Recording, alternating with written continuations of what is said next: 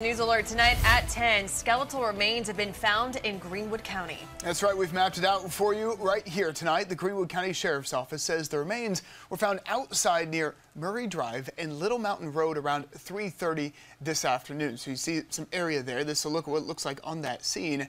And we know it's near 96 High School. And officials tell us the remains have not yet been identified, but they are investigating right now. And once they are identified, we'll be sure to bring it to you here on air and on